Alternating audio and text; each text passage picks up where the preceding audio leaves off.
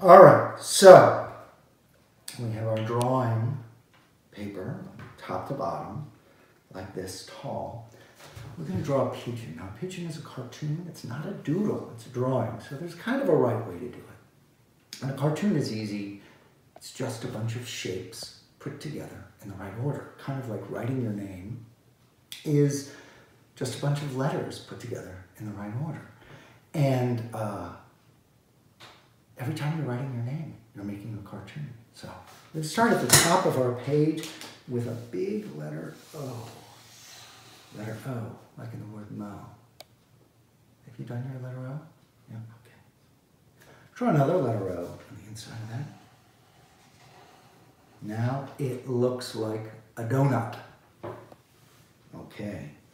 Now is the most important part of the drawing, where the eye goes. Because the eye is the window to the soul if I'm drawing a character who's got a big smile, but really sad eyes. Like that, I guess. They're still sad. So you put it in the middle, he's freaked out. Put it down, he's sad. I'm gonna put mine up because I'm gonna make him cheeky today. Darken it in. Why am I darkening it in? Well, you always look at the darkest part of a drawing first. It's the most important part, and since the eye is the most important part, I want you to see that first.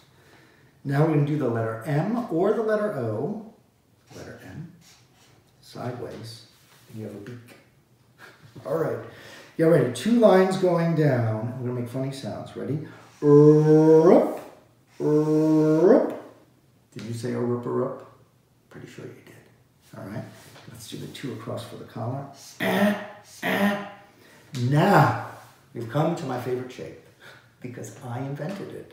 It's the Mo Willems patented circangle. Now, a circangle is a circle that halfway through its life decides to become a triangle. Ready? Here we go. Oh, I'm a circle, I'm a circle, I'm a circle. Oh, it's so good to be a circle. I think I'd rather be a triangle. Boop.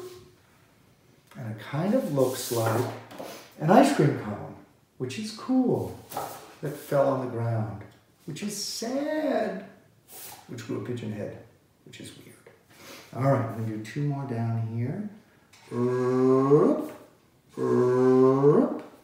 The pigeon has legs. Okay, do three V's. Say va va voom. The first one goes sideways. Letter V, va. Letter V, va. Letter V, voom. That's starting to look like a pigeon. Now, are we done? Gotta make sure we write our name so that everybody knows that we drew it. And for me, today, I'm going to stamp it, an old library stamp. It says March 16th, 2002. All right. Can I see your pigeons? Let me see your pigeons. Hold them up. Let me put on my glasses. There we go. Oh, yeah, that's good.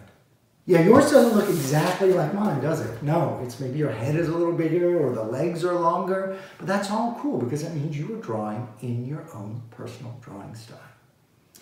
Well, this is the it for us doodling together pretty much today, but I'll be back and I hope that you spend the rest of the day maybe drawing with members of your family or doodling or whatnot because it's really, really fun.